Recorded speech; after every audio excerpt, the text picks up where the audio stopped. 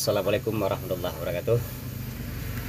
Kita akan coba mengulang kembali ya uh, Beritanya Gus Samsudin Nah di mana kita nanti akan melihatnya Dia beradu argumen dengan Ustadz Heri.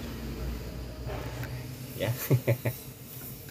Lucu aja kita lihat orang ini ya Gus Samsudin Yang dibongkar kedoknya oleh pesulap merah uh, ayo teman-teman coba kita lihat dia beradu argumen dengan Ustaz Heri di mana Gus Samsudin ini si Udin ini salah mengucap uh, kalimat ya, ya yang langsung dibantah oleh Ustadz Heri oke kita lihat Alladhi yuwaswisu fi syudurin nasi minal jinnati wanas. Oke, saya Allah tidak menciptakan jin dan manusia kecuali untuk beribadah kepada Allah. Jalan masuknya yuwaswisu fi syudurin nasi minal jin waswas.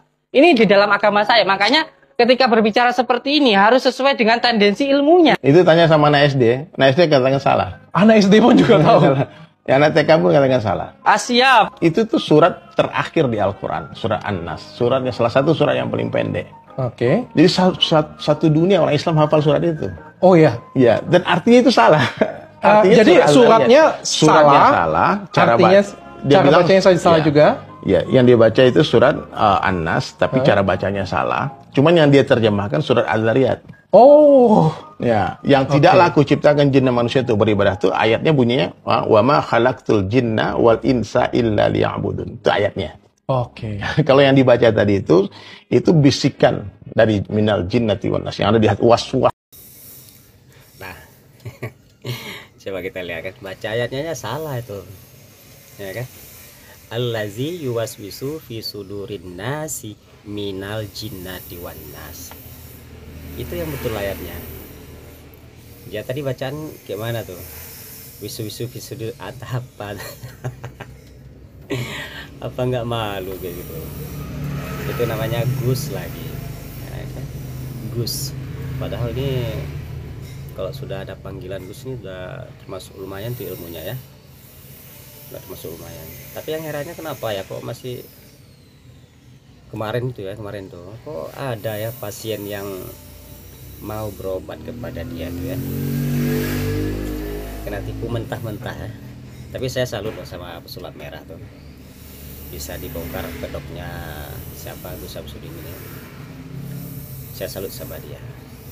Ya kan? Supaya jangan ada lagi penipuan-penipuan yang seperti itu ya yang berkedok agama. Bahaya itu sangat bahaya. Ya kan? Apalagi dia tuh bawa-bawa nama Allah tuh aduh. Bahaya dah tuh. Tapi terima kasih ya pesulap pera ya. Kamu sudah membongkar kedoknya siapa ini? Samsudin ya. Oke teman-teman ikuti terus ya channelnya Bang Gila ini channel baru lah ya. Eh, baru saya bikin nih. Semoga netizen eh, mau ya mengikuti channelnya Bang Gila ini ya. Eh, tentunya nanti Insya Allah Bang Gila akan memberi berita-berita yang eh, bermanfaat gitu ya.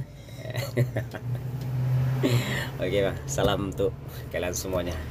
Jangan lupa ya kan di like, komen dan subscribe ya ah, supaya channel Bang Gila ini bisa berkembang. Oke teman-teman, sampai di sini dulu. Assalamualaikum warahmatullahi wabarakatuh. Oh, tenan.